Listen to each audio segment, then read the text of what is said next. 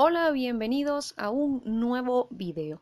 El día de hoy para dar continuidad un poco a lo que son los plexos, ya en un video anterior hemos tocado el plexo cervical, vamos a desarrollar en esta oportunidad la anatomía del plexo braquial. Así que bueno, vamos entonces a desarrollar este tema. Para desarrollarlo primero debemos conocer que el plexo cervical se forma por las raíces nerviosas que parten de C5, C6, C7, C8 y T1.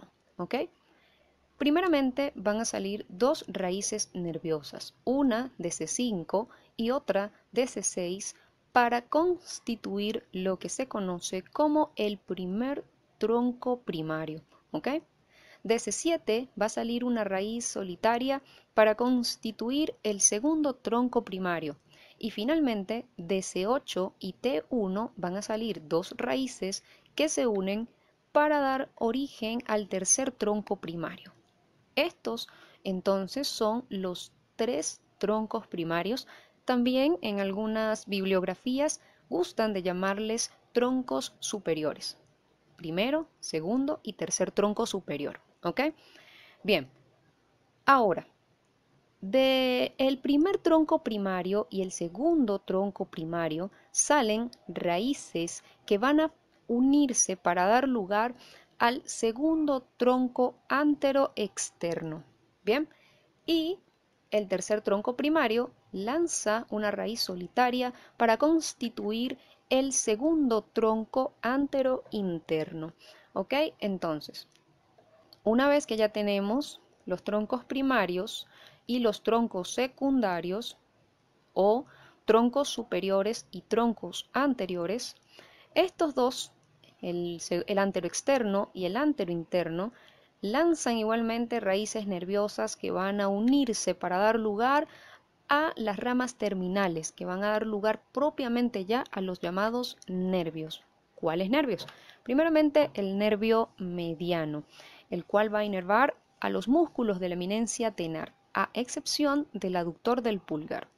También vemos que se va a constituir el nervio músculo cutáneo. El nervio músculo cutáneo inerva a los músculos coracobraquial, bíceps y braquial anterior. Y también tenemos la constitución del nervio cubital, el cual entre algunos de los nervios que inerva se encuentra el flexor común profundo de los dedos. Entonces, tenemos ya a estos tres nervios, el músculo cutáneo, el mediano, que se llama o debe su nombre a que se encuentra en el medio entre el músculo cutáneo y el cubital. Entonces, tenemos a estos tres que parten de las ramas anteriores del plexo braquial. Ahora vamos a desarrollar los posteriores. Que los tenemos justo aquí. De los tres primeros troncos primarios o troncos superiores van a salir raíces nerviosas que van a unirse para constituir a este personaje que tenemos acá, que es el tronco secundario posterior. Lo coloco así, como en guiones, para que quede claro, ¿ok? Que esto se encuentra posterior, ¿ok? Bueno, de este tronco secundario posterior van a salir dos nervios. El primero de ellos nervio radial, el cual entre algunos de los músculos que inerva encontramos el tríceps y el supinador largo. Y la siguiente raíz nerviosa es la del nervio axilar, el cual inerva el redondo menor y el deltoides.